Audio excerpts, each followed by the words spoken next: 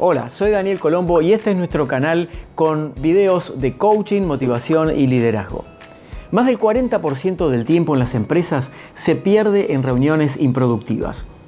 Si esto se traduce en cifras, seguramente las personas de finanzas estarán más que preocupados. Se trata de un gran despilfarro de dinero y de energía. Pero, ¿por qué sucede? Básicamente porque hay una tendencia a improvisar las reuniones y a no llevarlas a cabo de acuerdo con un orden que permitan que sean dinámicas y efectivas. Hoy quiero compartir contigo nueve reglas para poder reconducirlas con todo éxito. Regla número uno. Las reuniones se planifican.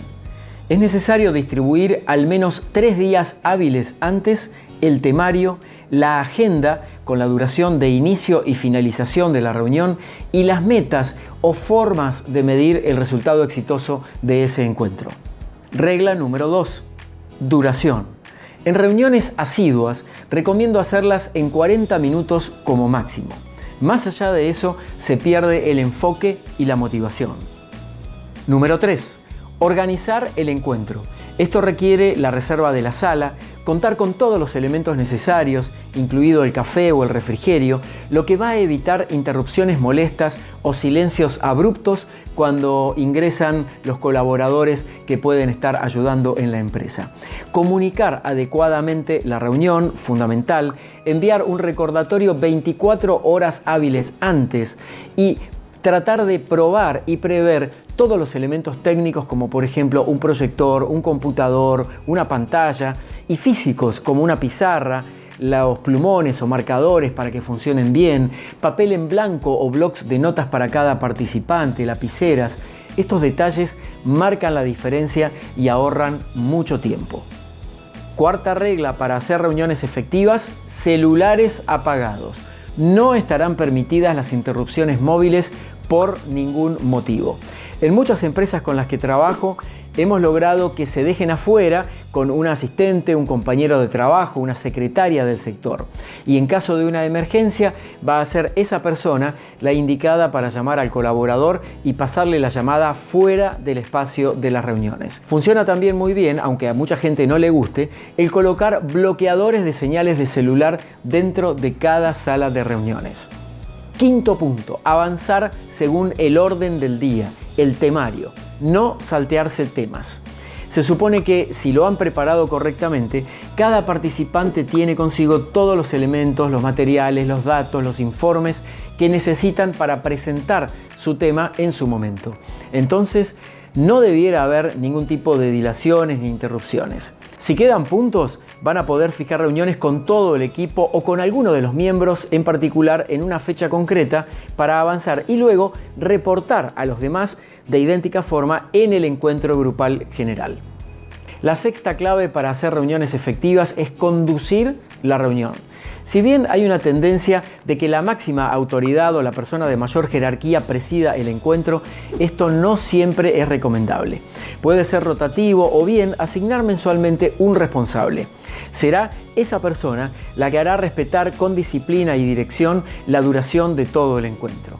Va a hacer callarse o silenciarse cuando los demás superpongan temas en debate, va a sacar las conclusiones que luego se volcarán en el registro o minuta de la reunión y traerá el foco cuando se vayan las personas por las ramas. Van a necesitar asignar una persona que tome notas sobre los abordajes y las decisiones. Esta minuta de la reunión no es una transcripción del encuentro, es el reflejo de lo decidido, agregando al responsable del tema fechas límites y explicitar cómo van a reportar el resultado exitoso. Es fundamental que cada una de las personas hable a su tiempo y que no se superpongan. Y va a ser el facilitador el responsable de acotar este tipo de situaciones. Una técnica que funciona muy bien cuando alguien se va por las ramas es decir muy claramente y el punto es para que vaya directo al grano. Te agrego algo más aquí y tiene que ver con que cuando tengan que redactar la minuta la pueden ir haciendo paso a paso durante la misma reunión, de manera tal que ni bien terminan, ya la pueden enviar por correo electrónico a todas las personas que participan de la misma. Séptimo punto, para optimizar el tiempo que se pierde en las reuniones y hacerlas en manera efectiva, es hacer recapitulaciones parciales. Luego de cada punto, el que conduce la reunión necesita pasar en limpio lo que decidieron en ese encuentro. Estos encuentros no son para quejarse o solamente para comunicar un diario de problemas. Deben convertirse en un espacio de aprendizaje, de evolución y de cooperación entre los integrantes. Octavo punto para las reuniones efectivas, hacer un resumen.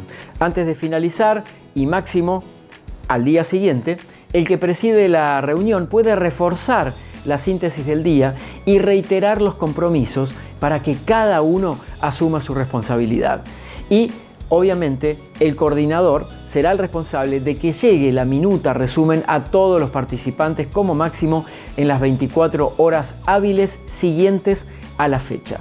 Importante colocar que en caso de no recibir respuesta o feedback de cada persona, en las siguientes 48 horas se va a dar por aprobado todo el resumen y se da por hecho que todo lo que está en ejecución es de acuerdo a lo hablado con las responsabilidades que le quepan a los que estuvieron presentes.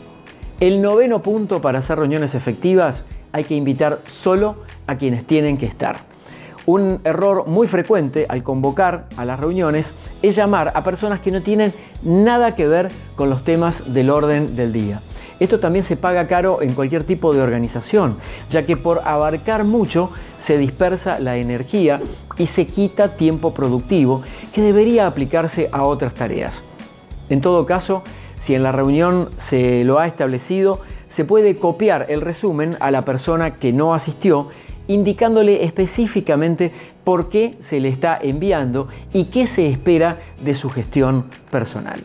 Con estas nueve reglas vas a poder gestionar mejor todo ese 40% de tiempo que se pierde en reuniones improductivas. Muchas gracias por acompañarnos en este nuevo video. Los invito a interactuar dando me gusta en este canal de YouTube y también con mis redes sociales en mi web danielcolombo.com. Así estamos en contacto. Hasta la próxima.